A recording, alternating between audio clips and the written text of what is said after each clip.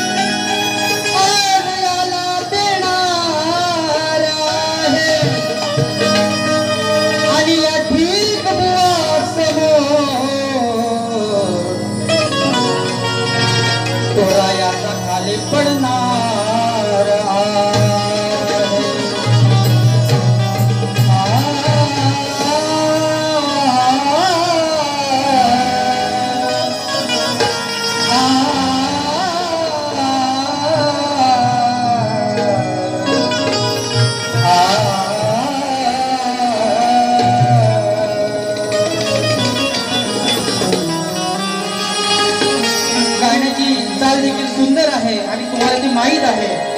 या ठिकाणी डायरेक्ट गाण्याकडे वळतो बुवा लक्ष असावं.